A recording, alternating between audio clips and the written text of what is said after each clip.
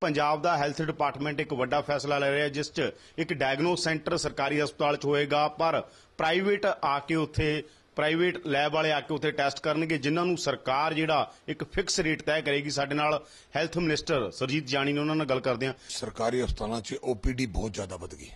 ਤੁਸੀਂ ਮੰਨੋਗੇ ਕਿ 2-2 ਹਜ਼ਾਰ ਦੀ ਓਪੀਡੀ ਜਿਵੇਂ ਮੋਹਾਲੀ ਹਸਪਤਾਲ ਲੈ ਲਓ, ਜਲੰਧਰ ਲੈ ਲਓ, ਮਾਤਾ ਕੁਸ਼ਲਿਆ ਹਸਪੀਟਲ ਲੈ ਲਓ, ਜਿੱਥੇ ਵੀ ਹੈ, ਹੁਣ ਲੋਕਾਂ ਦਾ ਰੁਝਾਨ ਜਿਹੜਾ ਸਰਕਾਰੀ ਹਸਪਤਾਲ ਜ਼ਿਆਦਾ ਹੈ। ਤਾਂ ਡਾਇਗਨੋਸ ਜਦੋਂ ਤੱਕ ਸਹੀ ਤਰੀਕੇ ਨਾਲ ਨਾ ਹੋਵੇ ਤਾਂ ਬਿਮਾਰੀ ਦਾ ਪਤਾ ਨਹੀਂ ਲੱਗਦਾ। ਤੇ ਸਾਡੇ ਕੋਲ ਜਿਹੜੀ ਕੁਝ ਸਪੈਸ਼ਲ ਡਾਕਟਰਾਂ ਦੀ ਘਾਟ ਆਪਾਂ ਜਾਣਦੇ ਹਾਂ, ਜਿਵੇਂ ਅਲਟਰਾਸਾਊਂਡ ਮਸ਼ੀਨਾਂ ਵਗੈਰਾ ਜਿਹੜੀ ਚਲਾਉਣ ਵਾਸਤੇ ਉਹ ਸਾਡੇ ਕੋਲ ਘਾਟ ਹੈਗੀ।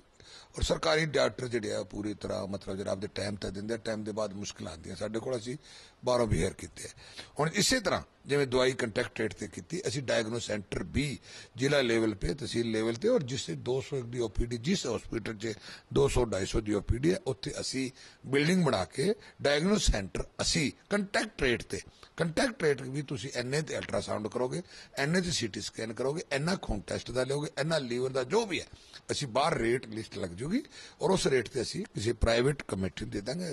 ਇਹ ਪੂਰੇ ਪੰਜਾਬ ਦੇ ਤੁਸੀਂ ਕਿਹਾ ਕਿ 200 ਦੀ ਜਿੱਥੇ ਓਪੀਡੀ ਹੋਏਗੀ ਉੱਥੇ ਹੋਏਗਾ। ਮੰਨਿਆ ਜਾਵੇ ਕਿ ਆਉਣ ਵਾਲੇ ਦਿਨਾਂ ਦੇ ਅੰਦਰ ਜਲਦੀ ਹੀ ਲੋਕਾਂ ਨੂੰ ਇਹ ਸੁਵਿਧਾ ਮਿਲੇਗੀ? ਕਿਉਂ ਨਹੀਂ ਮਿਲੇਗੀ?